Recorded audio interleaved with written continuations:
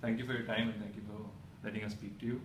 So let's start off with uh, how's your experience been in India so far, uh, and what do you think of the love for basketball here? Uh, my experience has been great. You know, I've had a really good time since I got here. Obviously, started off in Mumbai and now here in Chennai. But um, you know, just looking particularly at the basketball aspect of it, um, the kids that we've worked with so far, I think the biggest thing that I've seen is just the passion and the desire, like they want to learn about basketball. And that's what the beauty of a program with the Junior NBA and the Reliance Foundation, just the beauty of wanting to start at the grassroots level to teach the skills so that by the time the kids get old enough to really start, you know, playing and being really active in basketball, um, hopefully they'll be really good and, you know, have the opportunity to reach their goal, which is being in the NBA or the WNBA. Right, right, right. Excellent. Never know. yeah, I mean that's that's the plan. I mean that's the plan of the foundation, the Mhm. So that's great. Uh, now let's talk a little bit about your early years. I mean, what drew you to pick up basketball? I mean, I know about your struggles as a child, and how did basketball help you combat those struggles? Well, um, sports in particular, you know, just growing up with a hearing problem and a speech problem, having to wear hearing aids and getting bullied a lot um, early on. I mean, that's where sport became my outlet. It was something that you know I could go out and soccer was my first sport, then softball, and then basketball was actually my third sport that I played. Far as organized, um, I played in the playground, and my dad played, so we would go to practice and watch him. But for me, you know, it was a, a way that I could kind of escape everything that was going on around me and have the opportunity, like, I could practice and get really, really good at something. So, basketball, I go and I practice and I practice. So when somebody made fun of me, I said, okay, well, let's go play basketball. You know, and I would try to beat them as bad as I could. But that was like my way of being able to escape, and and also a way for me to kind of fit in with the rest of the kids. Sure, sure. And uh, speaking about your dad, mean, he was he played in the NBA for over a decade, Mr. Harvey Catchings. Uh, so how did uh, did that you know influence you to pursue the sport professionally at, at some point, or and what was I mean his key advice or motivation that you know helped you improve your game in your early years? Yeah, I was in seventh grade when I made the goal that I wanted to be in the NBA. Like I wanted to follow my dad's footsteps Mhm. and be like my dad because the WNBA wasn't around. And so, you know, I just remember that time. Like I sat down, I was like, you know what? One day I'm gonna be in the NBA, and I'm gonna. I don't care if I'm a girl, I don't care what people say, but that's what I want to do. And when I told my mom and dad, they believed in me, and they said, you know what? If you work really, really hard, you can do it. And I know that having the the, the confidence that they had in me actually boosted up my own self confidence. Like, you know, they believe in me, so I should believe in myself too. And, uh, you know, the thing that my, my parents did, they put us in a lot of sports. So I have an older brother and an older sister. I mean, we did, so I talked about soccer, softball, basketball, volleyball, and track, did gymnastics, t- tennis lessons. So, you know, we did a lot of different sports. But that was like the one sport that, after all of that, I still wanted to play basketball. Like, this is what I want to do. Right. And um, my dad sat me down and he was like, look, I'll help you as much as you want me to help you. Whenever you feel like, you know what, Dad, I want to walk away from the game or whatever, just tell me. We walk away, no hard feelings, nobody's mad, nobody's angry. Because the only thing that I ask is that whatever you do in your life, you be, you stay passionate. And when you lose the passion for what you're doing, you need to find something else. And I'm still passionate. I mean, it shows. So, uh, and speaking about your early years again, you know, your high school, uh, you were the only, the first player to have recorded a quintuple double. and that's what we. I mean, I haven't been able to get a video of that game, but I, mean, don't think there like, is one. it seems like you were unstoppable that day. I mean, so tell us a little bit about that game. Yeah, you know what? Unstoppable to the point that I don't really even remember. Um, that's just the way that I play the game. You know, I, I just go all out, and I love being on the court. I love being active and just playing. And you know, I think the one thing that's different is just being an all-around player. And Alonzo Mourning was my favorite player growing up. Went to Right. Charlotte Hornets, then he went to Miami Heat, and now he's like high up in the front office for the Miami Heat. But I used to love watching him because he was the kind of player that he was big, he was strong, but if they needed a basket, he could score. If they needed some a defensive stop, he could stop somebody. Rebound, he could pass. He did everything, and he just seemed like a great leader on the court. So for me, as a little girl watching him, you know, I was like, that's my favorite player.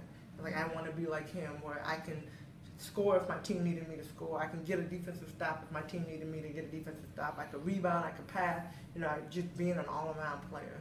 So would you say that Alonzo Mourning is your inspiration? Your, I mean, he's influenced your game, the way you play the game. Well, of course, like my parents, I mean, my family overall would be first and foremost. Like they're the reason that I'm the person I am. But as far as like my role model after the, my after my family, like yeah, he definitely the one. Now coming to your college uh, years, you played at the University of Tennessee for four years. So how did that program? I mean, it's a great program and it's produced numerous stars. So how did the playing for four years in college help you, you know, compete in the pro game? Well, playing for the best coach ever in the world, Pat Summitt. Um, you know, just having the opportunity to be under her wings and the one thing that Pat always told us is we're not only going to be great basketball players, but we're going to be great in the in the classroom and we're going to be great in the community and overall just being a great woman. And so, you know, you go four years with those instructions. Like I, I don't, I, I don't care about just one thing. I want the overall package. And so, you know, for me, that's, what I learned the most. You know, of course, she was hard on us, but that's what I needed, and that's what I mm-hmm. wanted. I wanted somebody that you know, you see where I'm trying to go, and you see that I'm trying to make it to the NBA, but the WNBA came my freshman year in college, so then I wanted to be in the WNBA. But she saw like my ultimate goal, and she pushed me to be able to, to get to that level. Right, right. So as, as we all know, the WNBA started only in 1996, like you said, when in your freshman year in college. So if the WNBA, you know, say had not started, or uh, and your, your initial goal was to get into the NBA, so do you think that was a realistic possibility? I mean, how the WNBA helped uh, you know women basketball uh, progress from college to a professional level. I mean, if, if the WNBA wasn't there, it would be only the NBA as an option. So, how do you think that helped? I think, I mean, it definitely helped. Yeah, of it gave opportunities for women to be able to play, you know, the game that we love here in America. Because right. even back then, the opportunities overseas were still there.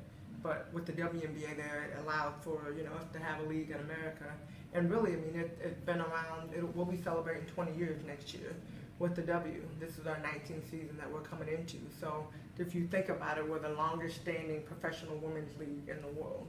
We got players from all over the world that aspire to be in the WNBA and have the opportunity to be a part of the best women's league, period. And so having that in the beginning, you know, now when you look at and we're doing the junior NBA program and with the Reliance Foundation, we're doing all these programs here in India and, you know, we cover across Asia. We, you know, we go to Europe, obviously in America. I mean, you provide opportunities for all these young girls. Now they're not just looking at the NBA stars and looking at the men. Like Alonzo Mourning was my favorite because who else was I, you know, going to look at? Other, but other women did I see playing, and so um, now, you know, we're providing these opportunities for these young girls to, I want to do that. I want to be like her when I grow up. Right, right. And you also played outside the US in, in clubs in Turkey and in Asia also. So, what do you think of the talent level outside the US? Is, has basketball truly become an international sport? Basketball has always been an international sport, right. and it will in continue. Of, yeah, in terms of talent level, I mean, how does it compare? Yeah, um, the talent level. I mean, I feel like it continued to get better and it continues to get better because of the possibilities and the opportunities that are now out there for you know for girls to, to play and um, specifically to be in the WNBA. But you know, I think when you look at the different leagues, I played in South Korea for five years. I did a half a year in Russia, one year in Poland, two years in Istanbul, Turkey, and then I finished in China. Um, there's American players on each of the teams overseas. Right. So I think what it kind of establishes and what it kind of helps is when you see these players such as myself or whoever's on a team, you know, these younger players like look up to us and they want to be like us and so they're constantly asking questions and constantly watching like how we do things on the mm-hmm. court which improves the game because some people you need to tell okay this is what you need to do mm-hmm. and some people they get better by watching and some people need both of them. So having you know a leader on their team or a player you know that is part of the WNBA on their team. You know, gives them an opportunity to firsthand, like, I just need to learn, I need to watch this person and continue to work on my game. Sure, sure, sure. Well, let's talk a little bit about defense. I mean, you've been defensive player of the year five times, it's an amazing achievement. So, how do you prepare for your defensive matchups? I mean, what sets you apart defensively? Yeah, I love it now. But I will be honest with you, I didn't start loving defense until my freshman year in college. Oh, really? yeah. Up until then, my, my sister and I played on the same team. Like she was the defensive stopper, and I was the one that scored all the points. Okay. Um, but Pat changed my mentality real fast, and she was just like, you know, you have an opportunity to change the game by playing defense and by getting really, really good at it. And so I think the biggest thing for me is because of my hearing problem, I had to learn how to be very observant. So like I was always constantly looking around. So in hindsight, when I look back now, I'm like, you know, I went for a period of time without having my hearing aid, and nobody knew. Really, Okay. just I threw my hearing aids out when I was young. I just wanted to fit in, and that was like the thing that was like keeping me from being normal. So I threw them out for really from my third grade on to my freshman year in college. I didn't wear my hearing aid at all. Okay. But in basketball, it made me have to look around. It made me have to pay attention. It made me like I read lips, you know. So it made me just be Aware. so on the court aware. Yeah. So on the court, Yeah, yeah, you know. So now on the court, like I almost see things happen Before, they, happen. happen. That's, that's intriguing. That's amazing. So, I mean, who do you think is the toughest player to guard? I mean, that you had to face. the toughest player that I've had to guard. Um, It'd have to be a current player or No. just period. I'd say the toughest player I ever had to guard was Chamique Holdsclaw. Okay. And the, and the reason why it was so tough is because Mika's so good at everything. And she's such like a, a finesse player. She's finesse, but she's tough. Right. And right. she's the kind of player like, you know, like she's so like fluid. Her body just kind of like move. and she makes things look so easy. Yeah, it, it just, it was crazy. Like to guard her, you think you have her shut down one way and then she like makes a move and gets by you. So as a defensive specialist, you get frustrated, but you love the challenge that it presents. Right, right, right. Now it took you. I mean, you you've been in, in the Indiana Fever your entire career, and it took you a decade to win a championship. so, I mean, what kept you going? What kept what kept you persevering through all those years to keep coming back fighting for a championship? Well, the thing that keeps you going is every single year you have media day before the season starts. And the first question all the media ask is, is this the year? Is this the year? And every year I say yes, because you never know what's going to happen. But um, yeah, I mean, I think for us it was just a matter of we had the talent and it's just putting everything together and making it all work, you know. So for me, you know, really like, what can I do to be a better teammate and a better leader for my teammates? And that's what I continue to focus on, you know, because you can't do everything for the team. So you have to be able to empower the players around you to do their job to make it easier so that we can win together. And that was like the biggest thing, you know, like, okay, we're going to keep pushing because we're getting close. Like, we got really close 2009, we got all the way to game five, and then we lost. yeah, and it was like, oh, Yeah, yeah, you know, so now we're going 2010, we get out in like the second round. Yeah, and, yeah. you know, that was probably the most frustrating year of all. And then 2011, like, we're right there. And then we get to 2012 when we win it. Was there a missing piece? I mean, all those years after 2009, 10, 11. What clicked in 2012 that you went on that championship run? Well, 2009, when I think about it, we were so excited to make it that far. Okay. You can't be excited to make it. You have to know, you know, like every single game and every single possession, like you have to go and know, like, okay, we have to win this game. Right. We were up 2 2 0, Yeah, yeah. and we lost three games straight. So, That must have been heartbreaking. I mean, at that heartbreaking. Yeah. we were up 2 0, and we lost three games straight. So, you know, the next time when we finally made it back to the finals, 2012, you know, it really was, we're not going to get excited because we were the underdog. Nobody mm. expected us to win anyway. We're going up against the Minnesota Lynx, and they have Maya Moore and Seimone Augustus and Lindsay Whalen and uh, Rebekkah Brunson, Taj McWilliams. I mean, they have all the stars on their team. So when you look at it on paper, we weren't expected to win anyway. Right. We win the first game, and everybody's like, oh, it's a fluke. You know, they'll, they'll lose the rest of the mm-hmm. game. Then they won the next game. But even if you think about it, it's like we lost players along the way.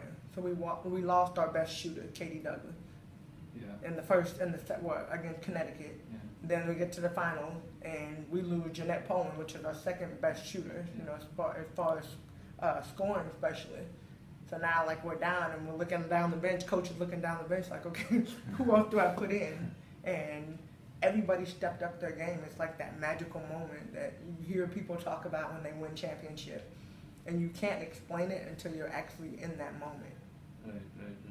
Now, I mean, you you achieved the championship. I mean, you've achieved numerous awards: Rookie of the Year, MVP, Finals MVP.